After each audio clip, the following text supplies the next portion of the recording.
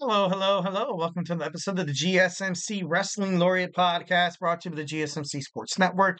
I'm your host, Eric Rodriguez here. Hope you guys had an amazing Halloween weekend. Hope you guys are coming back to me. Fun, had some good times. Maybe you all went out to a Halloween party. You guys got a nice, uh, you know, got a nice buzz with some candy, of course. That's all I'm speaking up. I'm just kidding. No, I hope you guys had a great, uh, great weekend with you and your loved ones. Will be, you know, your kids got a lot of candy that you guys could definitely, uh, definitely raid you know, I've I rated my kids' candy already, man. We got Tootsie Roll Pops, we got Butterfingers, we got uh Milky Ways, all you name it.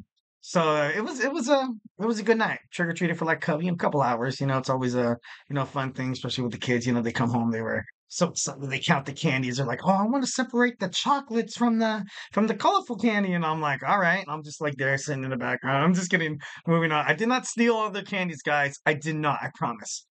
All right, so moving on. Thank you guys so much for tuning in to the GSMC Wrestling Laureate Podcast brought to you by the GSMC Sports Network.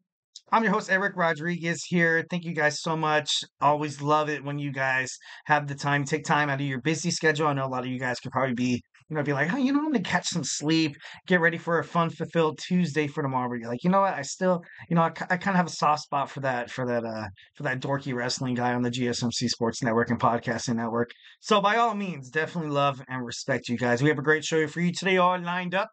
Today we're going to talk about some uh, some um, uh, WWE SmackDown. We're going to talk about some Monday Night Raw. We're also going to talk about WWE Crown Jewel. Um, in, our, in, our, fourth segment, we're going to talk about Montez Ford, talking about how he is uh, he is frustrated with the uh, with the character development and creative um, you know nuptials that is his uh, you know that his his character and where his uh, you know his career it's kind of at you know in this pop, you know, in this moment. I got some quotes, I got some reports I want to talk about. In our fifth and final segment, we're going to talk about Baron Corbin. Baron Corbin, along with Tegan Knox, Indi Hartwell, recently uh, released from WWE. Obviously, you know, with Tegan, you know, she was great. Indi was great. You know, the the you know, I think the shocking factor out of um, you know who got released was uh, you know Baron Corbin. A lot of people thought that he was going to get re-signed. You know. Um, and now, uh, you know, he got a he got a text basically saying that, hey, guess what? We're not going to extend your contract. And then Indi Hartwell and Tegan Knox have 90 days until they can actually pursue a new wrestling career if that's what they want to, you know, kind of get into. So we're going to get into that. But of course, before absolutely anything, I want to remind you guys to go ahead and hit up that super chat, whether you've got a burning question or a hot take in terms of the world of professional wrestling here at the GSMC Sports Network. We want you guys to to know that we are all ears. Absolutely drop anything inside that chat. Should be awesome. Should be uh should be super sick. Make sure your voice is heard. Make sure I want to make sure that you guys feel like your voice is part of the mix. So don't be shy. Drop your thoughts inside that chat. And if you really, really, really want to make sure your comment, question, or concern gets noticed on air, why not use that super chat? It's that dollar sign below the chat box. Anything you put in there will be talked about, discussed about. If it's really juicy, could be debated about. So, yeah, guys, make sure you guys do that. It's pretty awesome. Plus, it's also a great way to support our channel here at GSMC Sports Network. Uh, we definitely love it when you guys sending the uh, send in those super chats. It helps us keep the lights on a lot of these uh, podcasts with these amazing, passionate podcasters that have one uh, one goal in mind is making sure that you guys feel like you guys have consumed the perfect amount of sports content. That's what we are here for. That's what we love doing your happiness is our happiness. So you know, definitely love, uh, definitely love you guys, uh, you know, tune into the GSMC Sports Network. Uh, we are super grateful for each and every one of you guys who joins us here on the GSMC Sports Network daily. Um, you know, your support makes all the difference. So let's keep the conversation going. Let's keep this. Let's get this party started, guys. Let's keep this party going, and uh, you know, we'll make sure this show is bigger, better, and uh, stronger than ever. Remember to hit up those super chats, those super stickers, because you guys are super awesome. And once again, it's super chat, not your thing you can still hit up the gsmcpodcast.net, hit up the tips and donations link. Tell me what you like, tell me what you don't like. Just remember to Superman punch that. Like and subscribe button to the show. Follow the show, follow the network here at the GSMC Sports Network. We do love a lot of peace, love, and positivity, 1010%. But of course, in terms of talking sports, it's inevitable. Disagreements and debates are going to happen, some criticisms, and it's a okay. Don't be shy. Dropping inside that chat, dropping inside that thought box. I'm going to hear what you guys have to say. Um, a thousand to ten percent. So uh, yeah, don't be shy. Just uh, you know, unload that gun of criticism. All right, moving on to the first segment. We got some WWE Friday night SmackDown review. All in all, I felt like it was a decent episode of SmackDown, but then again, what could you expect? Heading up toward Crown Jewel, you didn't really want to necessarily outshine what was going to happen on Saturday. So, you know, there was a lot of, you know, I feel like there was a lot of misbooked spots, but I feel like it could have been better. But then, you know, like I said, you have the biggest event in, uh, you know, Saudi Arabia. This is kind of like their this is kind of like their WrestleMania. This is an event that they look forward to, you know, the whole year. You know, they don't get international WWE spots like you have here in the United States of America. So whenever they have a chance to kind of watch or consume some WWE product um, live and you know in person, you know, WWE likes to like you know save all the content, save all the you know all the drama for once when it unfolds before Jeddah or Riyadh, Saudi Arabia. So you know, uh, the show was good though. The show was good that we saw Nia Jackson, Liv Morgan. Um, Tiffany Stratton came out. She came out absolutely like trying to get in the heads of not just Liv Morgan, but also Nia Jackson. I thought that was actually pretty cool. Kind of creating that unpredictability factor that Tiffany Stratton is, um, you know, she's going to cash in. Um, you know, once again at the end of the promo, you had Nia Jax leaving everybody out, and of course the match to when you saw Liv Morgan defeat Tiffany Stratton, and uh, you know, it's uh, it's getting to the point where Liv Morgan right now, she's untouchable. You know, she has her insurance policy. She has Raquel Rodriguez. She also have Dirty Dominik Mysterio and the rest of the Judgment Day. I feel like she's uncashable, and I, and I know that's not a word, but uh, I feel like Tiffany Stratton can't cash in her woman's money the bank because she has so much protection. It would be just like throwing your bet away, and I feel like Nia Jax is actually, you know, she's starting to kind of cohere to this reality that the only option, the only safe option is for Tiffany to cash in on her. And uh, obviously, that comes to no surprise because you know you saw the numbers game play dividends uh, on WWE Crown Jewel, which we're going to talk about in our third segment. But uh, it just it just leaves Tiffany Stratton like you know it, you know she's the you know she's the briefcase holder you know she she holds the money women's money in the bank. Right now there is no men's money in the bank so all the attention is on tiffany stratton and uh, the fact that uh, you know it, once again kind of digging into what happened at wwe crown jewel so far we've had so many we've had multiple cash in attempts and it hasn't really came in fruition it hasn't really been taken seriously and you know it could diminish the value of the case at first when tiffany stratton had the case and there was no men's money in the bank uh, cash in possibility i was like oh my god this is going to be a great cash in like like you saw seth rollins cash in a brock lesnar and uh you know roman reigns at wrestlemania but now the way it's been kind of playing out on wwe smackdown now it's starting to look to me like more like an Austin Theory kind of cash in. Like, you know what I mean? There was a couple times where he came out and he was teasing it, he was teasing it, he was teasing it, and it kind of ended up to, you know, kind of being a joke. So, you know, definitely don't want Tiffany Stratton to fall into that category. I feel like uh, this uh, briefcase is definitely going to jumpstart her singles. Um, well, no, her her career. She's going to be pushed. Um, so I just wanted to be done right. I feel like she deserves that. Next, we have a Kevin Owens video talking to Randy Orton about what happened. He said, I don't want to fight you, never wanted to hurt you, now I'm going to. Classic, classic heel turn. Classic, I want the the crowd to, you know, to continue riding this baby face that is Randy Orton because Randy Orton was never really like a baby face in the past of WWE. Even now he comes out and people are singing his uh singing his anthem, singing his uh you know his entrance music and he's just, you know, he's just soaking it in. He's happy. And I feel like overall Randy Orton is uh you know, he's definitely a WWE future Hall of Famer and he's definitely like a huge sigh of relief for any wrestling fan every single time he steps into the squared circle with absolutely anybody staring across from him on the other side of the ring. You know, it's going to be a good match. It's going to be a good match because Randy has been notorious for putting on great matches within his career. Also, he's been notorious of punishing people who, uh, you know, kind of miss spots, kind of botch moves, like it happened with, uh, you know, Kofi Kingston twice in his career. And obviously, when you saw him go to St. Louis with NXT, the second episode the CW saw him battle, uh, battle Javel, uh, Je'Von Evans, and Je'Von Evans absolutely knew he he messed up. He was like, "Oh my god." Like even said, "I'm sorry" after the match, and I think Randy Orton's kind of at this point in his career where he's like, you know what, you know, I'm here to promote you.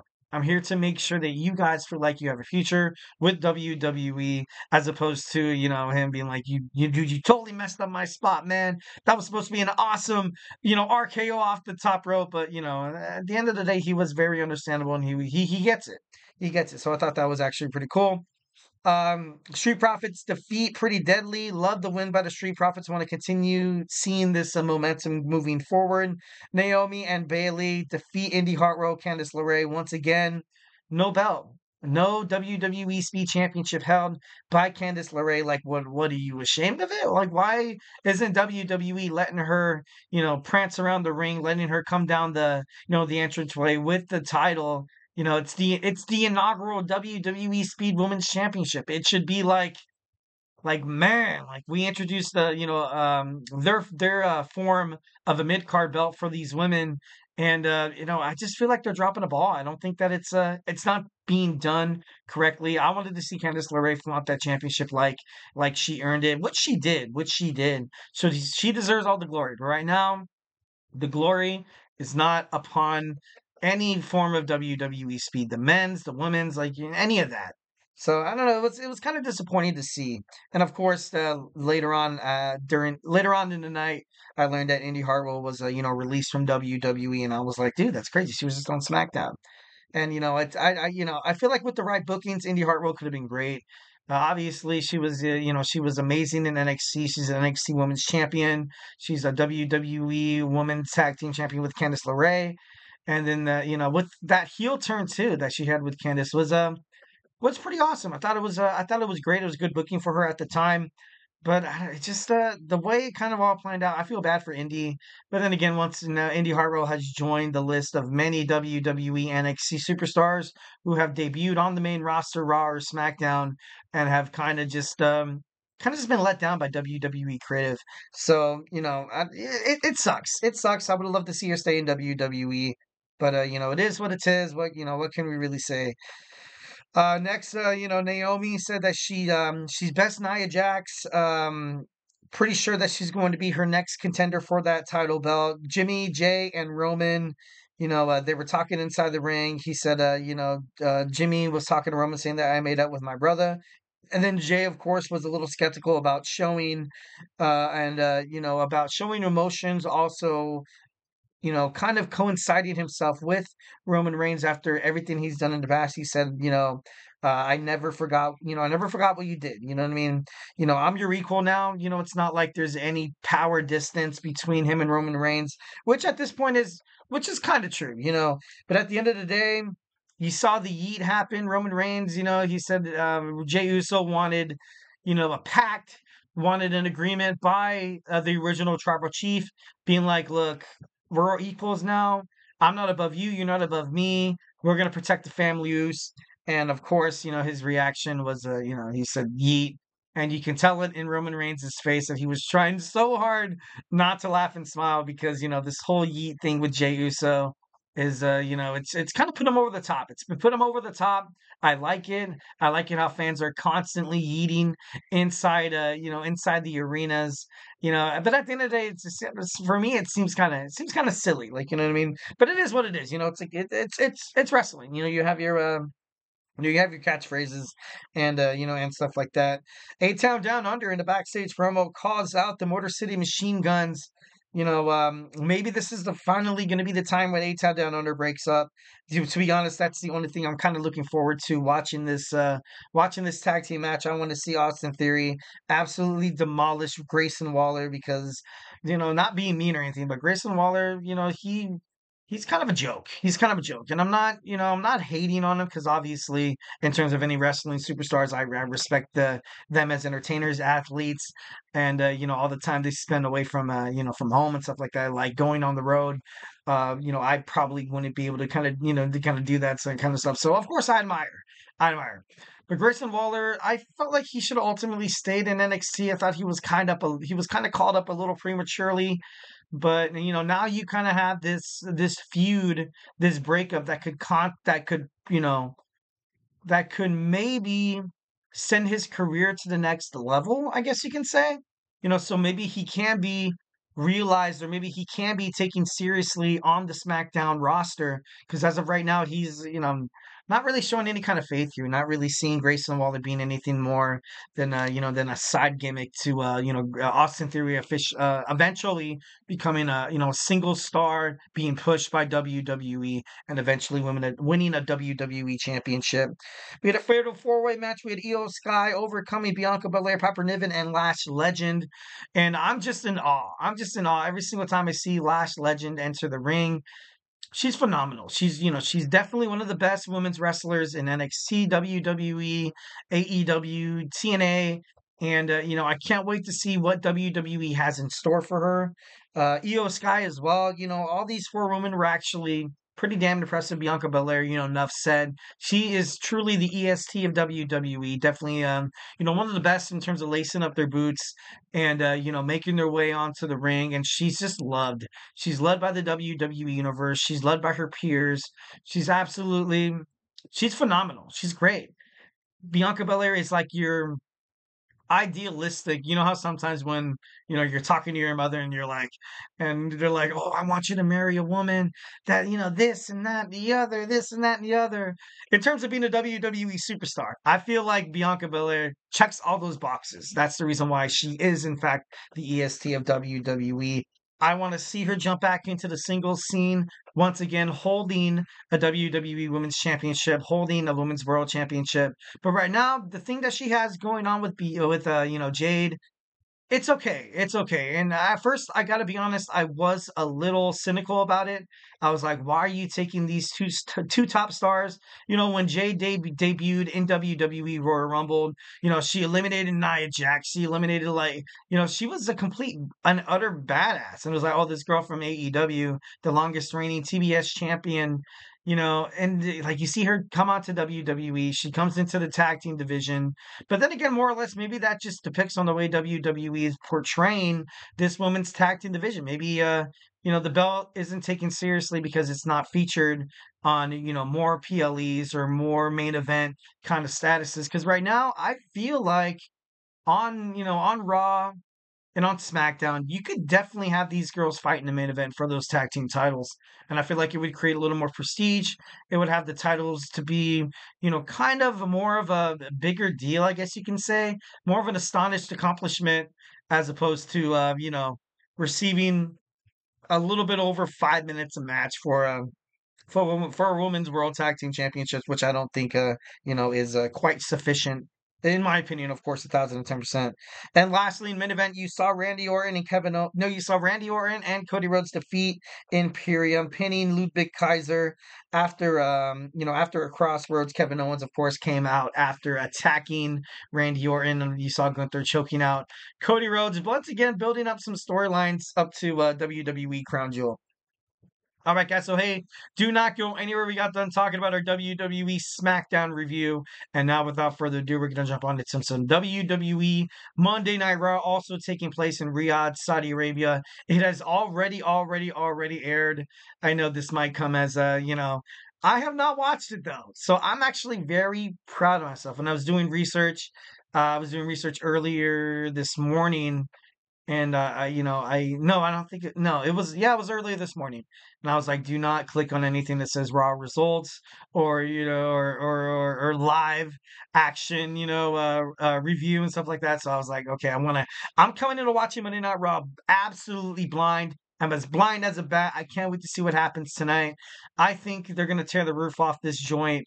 And uh, yeah, I'd like to share it with you guys when we come back. So, hey, do not go anywhere.